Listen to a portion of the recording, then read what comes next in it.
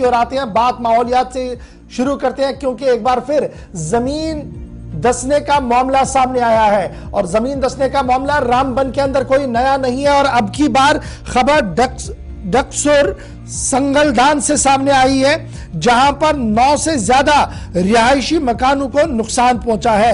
रात देर गए, अचानक ज़मीन धसने का सिलसिला शुरू हुआ, और सुबह होते होते पुलिस और मकामी लोगों ने बर वक्त कार्रवाई करते हुए वहाँ की मकामी आबादी को बचाया, माले मसरूका को बचाने में कुछ हद तक कामयाब भी हुए। और आज सुबह से लगातार सूबाई इंतजामिया और जिला इंतजामिया रामबन और रेवेन्यू ऑफिशियल्स की एक टीम वहाँ पर मौजूद रही, जो तमाम हालात का जायजा भी ले रही थी।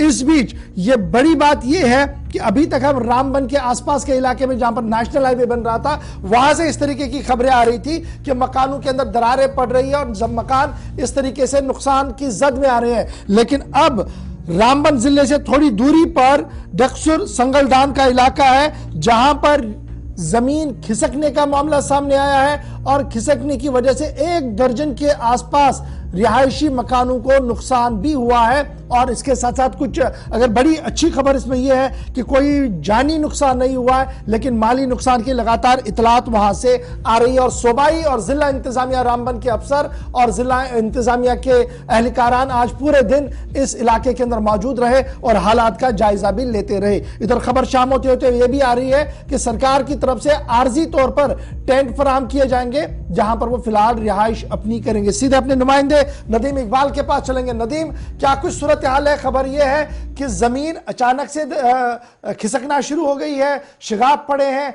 जिसकी वजह से काफ़ी नुकसान वहाँ पर हुआ। आज आप पिछले तीन चार घंटे से वहाँ पर मौजूद है। आप लोगों से भी गुफ्तगु कर रहे थे। क्या कुछ बुनियादी वजह अभी तक सामने आई है? जी, बिल्कुल। देखिए, गौर साहब डुक्सर का इलाका है, डुक्सर संगलदान का इलाका है, जहाँ पर ये ज़मीन धसने का जो सिलसिला देखने को मिला है, यहाँ पर लगभग यहाँ के लोगों से जब हम बात कर रहे हैं तो लगभग नौ के आस नौ के आसपास जो रिहायशी मकान है, जिनको नुकसान पहुँचा है, हालाँकि इसमें कोई जानी नुकसान नहीं हुआ है, माली नुकसान हुआ है, और उसके साथ ही हमने देखा कि जिस तरह से यहाँ के लोगों से हम बात कर रहे थे, उनका ये कहना था कि जब हमने एडमिनिस्ट्रेशन के लोगों से बात की तो सब डिविजनल जो एडमिनिस्ट्रेशन है, वो यहाँ पहुँची। डेप्टी कमिश्नर रामन का भी उन्होंने शुक्रिया अदा किया और तहसील एडमिनिस्ट्रेशन का भी शुक्रिया अदा किया कि जो बर वक्त यहाँ पर इनकी इमदाद के लिए पहुँचे सरकारी तौर पर इन्हें इमदाद की बात भी रखी गई है। जहाँ तक हमने भी बात की है और इन लोगों ने भी बात की। यहाँ कुछ लोग हैं, क्योंकि आप देख सकते हैं कि ये जो लोग हैं, ये वो जो है मुतासरीन है, और मुतासरीन के साथ साथ में इस वक्त वो लोग भी है जो यहाँ पर आए हैं। जी बताए, कौन सा इलाका है और क्या परेशानी है, क्या मसला हो? जी, बिल्कुल, ये सब डिवीज़न गोल डिस्ट्रिक्ट रामबन का इलाका है जो डुक्सर के मकाम पर डुक्सर के नाम से जाना जाता है। और यहाँ पे जो है, परसों रात से यहाँ पे स्लाइड जो है कंटिन्यू चल रही है। और इसकी जद में जो मकान है, सात से आठ मकान जो इसकी जद में आए हैं और इसमें चार से पाँच मकान जो है, वो बिल्कुल जो खत्म हो चुके हैं, जिनका कहीं दीवारें भी नहीं दिखती जो लोग यहाँ से बेघर हो गए, उन लोगों को कहा रिहेबिलिटेट किया गया? अभी तक तो कहीं नहीं रिहेबिलिटेट किया गया है। वो यहाँ पे ही अभी है जो आस पड़ोस में घर है दूसरे कहीं तो उनमें इंतजामिया की तरफ़ से क्या यकीन दहानी? इंतजामिया से यकीन दहानी यही दिलाई गई है कि हम आपको रिहेबिलिटेट करेंगे लेकिन अभी तक कोई इंतज़ाम नहीं उठाया गया है। जी आपका घर इसकी जब में है क्या कहेंगे? मैं भी यही कहूँगा कि हमारा मकान टोटली खत्म हो गया और हमारे पास जो भी आज तक बनाया था हमने ये जितना कुछ बनाया था वो यही था। और वो चीज़ सब खत्म हो गई। बाकी यहाँ पर जो है आठ से नौ मकान जो है टोटल मतलब वो लॉस हो रहे हैं, जिसमें पाँच मकान टोटली डेड हो चुके हैं, जिसमें हमारे को जो है एडमिशन ने ये बताया है कि मतलब आपको हम कहीं ना कहीं एडजस्टमेंट कर लेंगे, लेकिन अभी तक टेंट देने का प्रोग्राम आज का बताया हुआ है एडमिशन ने वैसे सब लोग पहुँच जितने लोग यहाँ पर मुतासरा है उनका ज़रिए आमदन क्या है? किस तरह से उनकी इनकम जनरेट हमारा बस यही है छोटा मोटा माल मवेशी है छोटा मोटा बाकी बस यही ज़िम्मेदारी और मजदूरी करते हैं बाकी कोई अब तो आपके पास ज़मीन रही। अब वही है हमारे पास कोई ज़मीन जितना कुछ था वो यही था वो भी चल जा चुकी है। कम से कम पाँच किलोमीटर जी आप क्या कहेंगे? सरकार से क्या आप डिमांड करेंगे?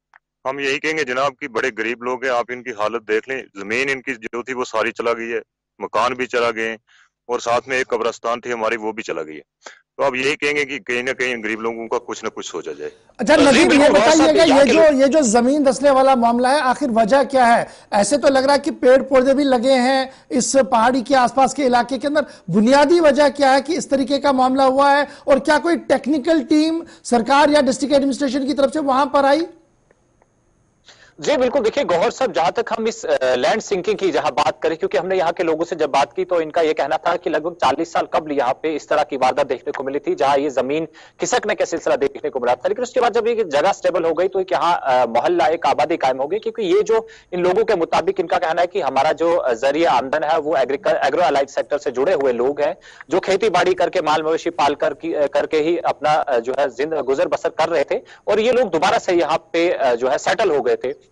लेकिन अब की बार जहाँ हम देखें, क्योंकि अभी तक कोई एक्सपर्ट्स की टीम यहाँ पर पहुँची नहीं है जो ये चेक करे कि ज़मीन खिसकने की वजह क्या है। लेकिन फ़िलहाल एडमिनिस्ट्रेशन का फोकस इसी पर है, ध्यान इसी पर है कि यहाँ के लोगों को रिहेबिलिटेट करे और इन्हें इमदाद दे ताकि ये मामूल की ज़िंदगी बसर कर सके, ज़्यादा सफ़र न करे। हालाँकि हम देख रहे हैं कि यहाँ पर पाँच घर ऐसे हैं जो ज़मीन बोस हो चुके हैं और उसके बाद कुछ ऐसे घर है जिनमें शगाब पड़े हुए वो भी नाकाबले रिहाइश है। और इस इलाके में जहाँ अभी हम है, क्योंकि मैं देख रहा हूँ कि काफ़ी शिदत की सर्दी है और इंतजामिया से जहाँ हमारी बात हो पाई है तो उनका भी ये कहना है कि हम हर मुमकिन कोशिश कर रहे हैं इन अच्छा लोगों को अब जिन लोगों का घर मुकम्मल तौर पर टूटा है जिन लोगों के घरों में शिगाफ है खबर यह है कि एडमिनिस्ट्रेशन ने एक आरजी बंदोबस्त किया है। तो वो आरजी बंदोबस्त क्या है? क्या आसमान नंगे आसमान तले इनकी रात गुजरेगी? या कोई छत का बंदोबस्त किया गया है? या मकामी तौर पर ही कोई कमेटी है जो इसका एहतमाम करेगी वहाँ पर?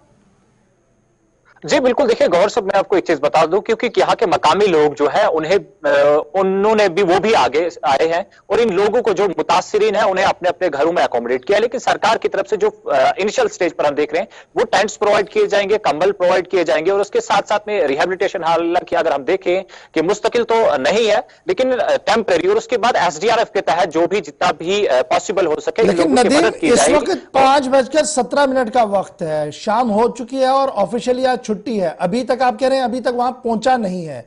कब तक वो पहुंचेगा, कब वो एस्टैब्लिश होगा और रात इनकी कैसे गुजरेगी?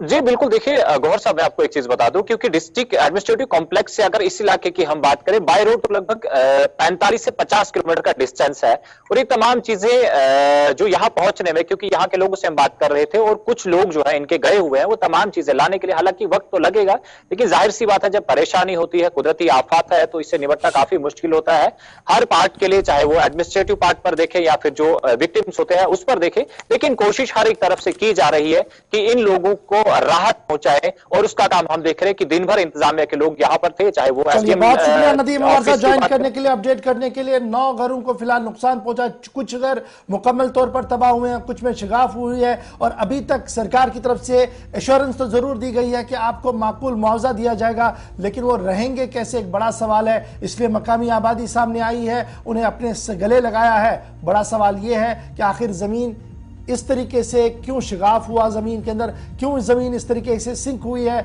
और इसके पीछे की वजूहत क्या है? एक बड़ा रिसर्च करने की यहाँ पर ज़रूरत है, ताकि मुस्तबिल में इस तरीके की वारदातें यहाँ